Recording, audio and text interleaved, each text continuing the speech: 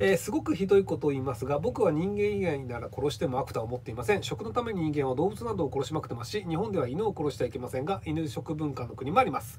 えーどの動物を殺してもいいかその国の文化によって変わる話であって正直人間以外なら殺しても悪ではないと考えてるんですがこの考え方はダメなんでしょうか？えー、追伸決していい考えをしているとは思っていませんし自分自身が動物虐待をするわけではありません。いい考えだと思っていない。流されちゃってますね。別になんか動物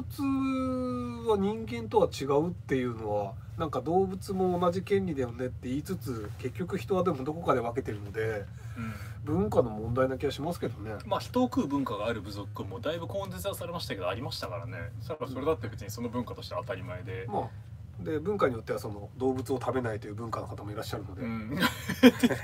あここでビーガンも燃やしてきますか？ビーガンビーガン頭悪い問題言えますか？これで。なんか考え方の問題だとは思うんですけどね。でもなんかそのひなんかこうあれですよね。この農そのいう狩猟民族であのクロイスフェルト・ヤコブ用の発見に貢献した部族あるじゃないですか、なんかはあの普段あの脳とかいわゆるこの骨髄とかってくその腐りやすいからあの狩りでその成功したというか狩りでその取った人の特権だったんですよね。例えば動物を取ったら脳ってすぐダメになっちゃうので脳を先にその人が食っていいよみたいな文化があってそうするとあの子供とか女性って狩りに行かないから食えないじゃないですか、でそれをその特権を味わわせるためにそのその文化ではその死んだ人を食べる文化があるんですよ。カニバカニバリズムで。要するに死んだ人の肉を自分の体としてに取り入れることによって共に生きるみたいなのがあってその中でも脳とその骨髄っていうのは普段は女性と子供は食べれないから女性と子供はだけは食べていいって特権を作ってたって文化があってでこの部族では女性と子供には脳に関する病気クロスフェルト・ヤコブ病とか脳がこうスカスカになっちゃったりとかするああいう病気が多かったんですよ。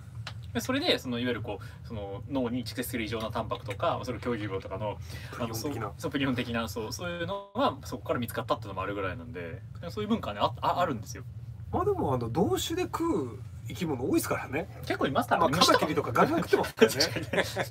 オスはあのメスに食われる運命なんで、子供を産むために食われるっていうね。だからあれどうですか？ひろひろきさんは食われないんですか？奥さん、まあ今のところまで生きてるんでもし僕があの消息不明だったらあのあ食われたなと。妻に食われたなと思っていただければ。じゃあちょっとあの美味しい調味料を送っておきますそしたら食ってほしい。切り抜きいかがだったでしょうか？この動画の概要欄の方から今なら僕が作った D ラボ動画配信サービスですね。の無料の体験リンクと僕のオーディオブックが無料で弾けるリンク入ってます。よかったらぜひチェックしてみてください。さらにチャンネル登録のもお忘れなく。それではバイバイ。